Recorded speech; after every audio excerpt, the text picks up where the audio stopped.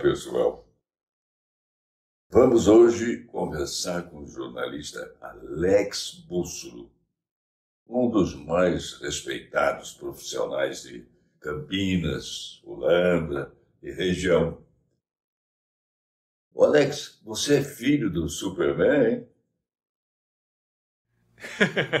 Superman, eu acho que é por causa dos óculos, né? Ou é porque eu sou bonitão como o Superman. Cid, um prazer estar aqui com você. É, eu tenho um carinho gigante, né? Uma admiração, assim como eu, né? todo o Brasil, né? Um prazer estar aqui com você. Obrigado por esse convite especial, por essa entrevista especial no seu canal. Obrigado a Fátima, né? Pelo convite. E vamos lá, porque eu tenho certeza que muitas perguntas sobre empreendedorismo, negócios, vendas, tecnologia vão surgir por aí, né? Brincadeiras à parte, qual o segredo da sua criptonita? Ou seja, o segredo de seu sucesso? É, sucesso, né, Cid? Eu acho que sucesso é muito relativo de pessoa para pessoa.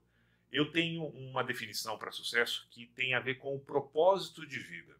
Quando a pessoa consegue cumprir o propósito de vida dela, eu acho que ela consegue atingir o sucesso que ela está ali para se propor. Sucesso é algo que pode ser definido como dinheiro para alguns, como uma boa noite de sono para outros.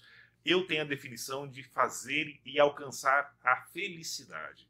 Eu sou feliz fazendo o que eu faço. Então o sucesso faz parte desse universo. Assim como você tem certeza que trabalha né, aos seus 95 anos porque é apaixonado pelo que faz. O quanto a vida foi dura com você, hein? O começo nunca é fácil e comigo não foi diferente. Né? Eu tive que começar um negócio digital, um negócio de tecnologia, sem ter tecnologia. Eu tive que começar um portal de notícias sem ter computador, sem ter internet. Então, assim, eu nunca tive recurso. Lá atrás eu não, eu não tive recurso, não tive dinheiro mesmo.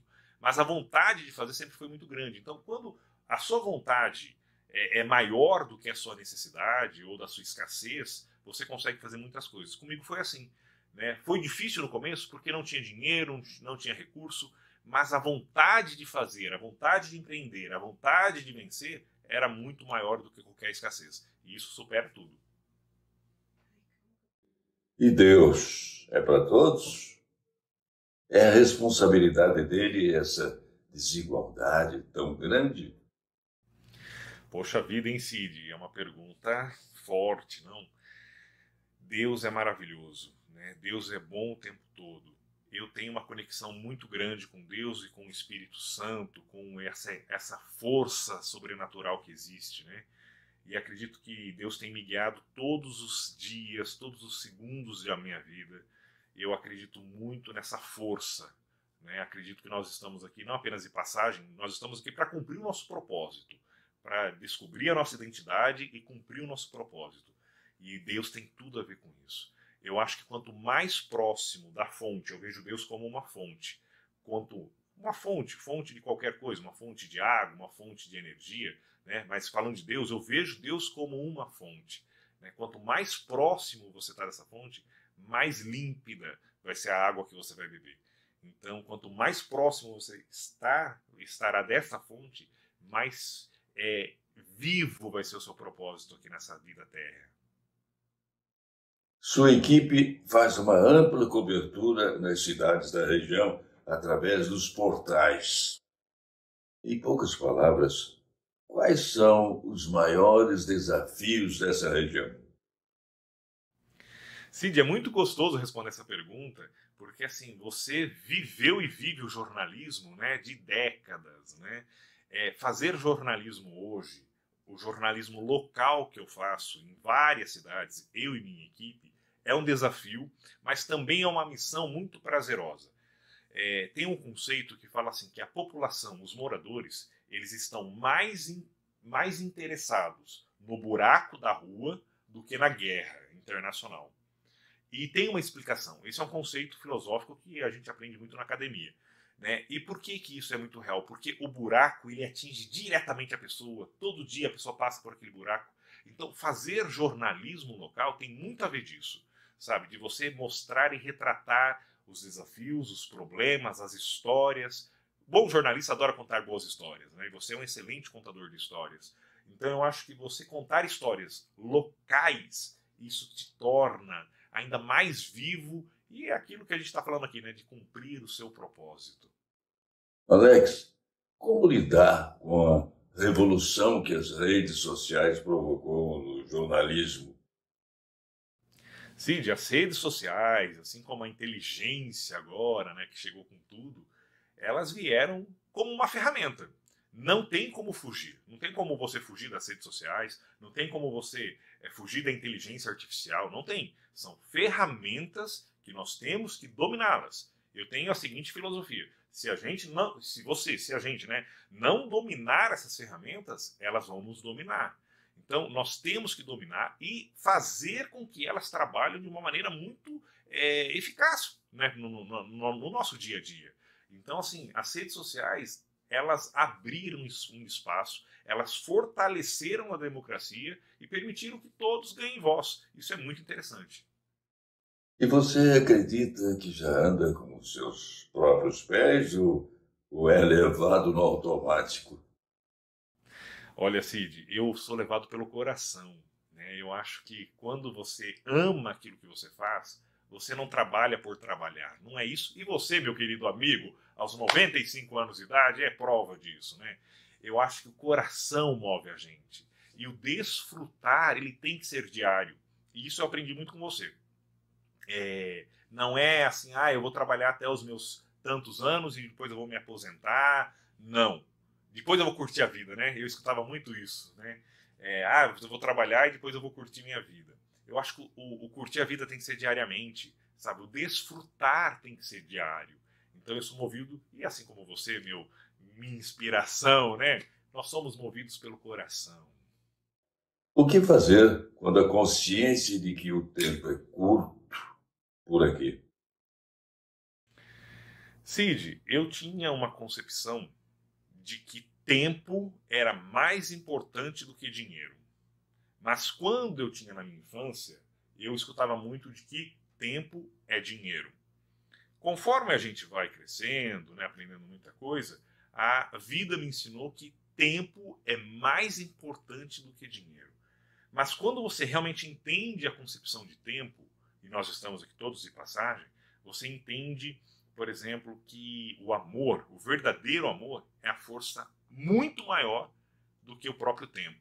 Então, se você não é saber aproveitar o tempo, é cumprir o seu propósito com o tempo. Todo mundo quer se destacar, né? Se tornar conhecido, fazer sucesso. O que é sucesso para você? Hein? É cumprir o seu propósito, né? Muitas pessoas, o maior problema hoje da internet é a, a plástica, né? Aquilo que é artificial. Muitas pessoas hoje utilizam de recursos para se venderem se projetarem na internet aquilo que elas não são na sua identidade. Então, a internet, antigamente, antigamente eu digo até alguns anos atrás, as pessoas queriam muitos filtros, né? Você pode até ver que grandes filtros hoje nas redes sociais, eles acabam hoje se é, acabaram se tornando obsoletos. Por quê? As pessoas querem ver originalidade, as pessoas querem ver autenticidade, autoralidade. As pessoas querem ver aquilo que é verdade, aquilo que é verdadeiro. As pessoas se conectam com isso. Então eu acho que qualquer um pode ter sucesso na internet, qualquer pessoa, qualquer empresa, qualquer marca pode e deve ter sucesso na, na internet, mas sempre sendo verdadeiras.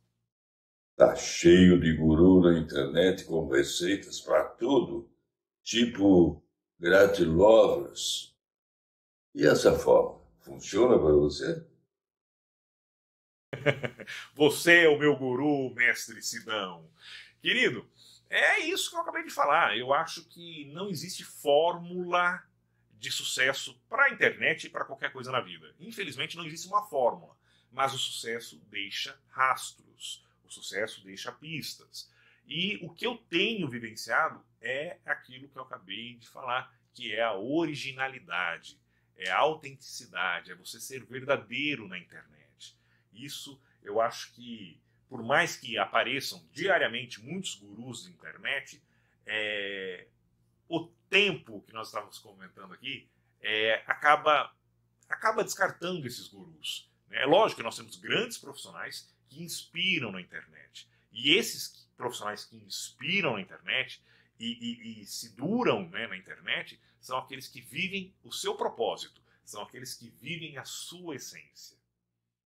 E o que você ensina aos seus filhos, você pratica e considera fundamental? Ai, Cid, então deixa eu aproveitar e mandar um beijão para os meus dois pequenos, né, para o Benício e para o Benjamin, essas duas joias que Deus me deu na vida, para minha esposa Vi. Né, enfim, o que, que eu ensino para os meus filhos? De verdade, e, e sem querer inventar uma resposta que seja mais bonita do que verdadeira, é... ser pai é errar e acertar, errar e acertar, errar e acertar. E eu fico muito grato a Deus quando eu coloco na balança ali e vejo que eu, né, modestamente, estou um pouco acertando um pouco mais do que errando. Mas assim, exemplo, eu acho que não tem outra forma. Não tem outra forma. E aí a gente volta naquela palavrinha da autenticidade, da originalidade. Não adianta eu falar para o meu filho não gritar dentro de casa se eu grito dentro de casa. Então, é, é o exemplo que ensina. Lógico que a palavra, né, a hora que você fala, fala alguma coisa para o filho ali, ele se adverte e tal, mas assim é o exemplo que vai ensinar, é o exemplo que ele vai levar para a vida, é o exemplo que vai transformar ele. Então, a minha atitude dentro e fora de casa, né, a forma que eu lido com a vida, a forma que eu lido com outras pessoas, é, é dessa forma que eu estou ensinando meus filhos. Né? Então, é, tem, infelizmente ou felizmente, não tem uma fórmula também. Mas ser verdadeiro e saber que você é exemplo é o segredo. Bem, muito obrigado por tudo, Alex. Um grande abraço. Meu querido Cid Moreira, a voz que eu ouvia lá me dando boa noite. Que honra, que prazer, né? Agradecer a Fátima, né? essa esposa maravilhosa que Deus colocou na sua vida também. Né? Eu tenho um carinho gigante por você, pela Fátima. Né? Você sempre foi assim a minha inspiração, né? Dentro na época que eu fiz faculdade, jornalismo lá atrás. E pô, a gente já se conhece há alguns anos e eu já tive a oportunidade também de te entrevistar. E agora estar aqui do outro lado, né? concedendo uma entrevista ao ícone do jornalismo brasileiro, é um presente de Deus, é um presente desse universo maravilhoso. Então, muito obrigado. Isso eu, hoje eu recebo um presente aqui. É, é emocionante poder é, bater esse papo com você, Silvio. É, você, você é um você é um carinho, você é um, um ser que Deus né, colocou em minha vida. Obrigado, viu? É, minha amizade está à sua disposição, tá? Até a próxima, pessoal.